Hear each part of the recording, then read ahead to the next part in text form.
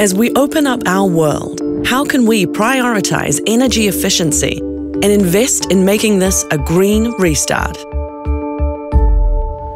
Buildings account for 40% of global energy use, and to meet the 1.5 degree scenario, we need to decrease emissions from buildings by 33%. Not just through new buildings, but by improving existing ones too.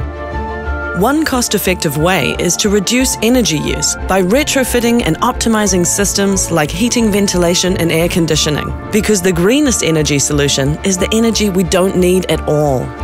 Using technology available today, we can also connect buildings to smart energy systems, adding to our energy efficiency by reusing their excess heat to heat our homes. By making our buildings more energy efficient, we can not only stimulate the economy, but create new jobs and make this a green restart.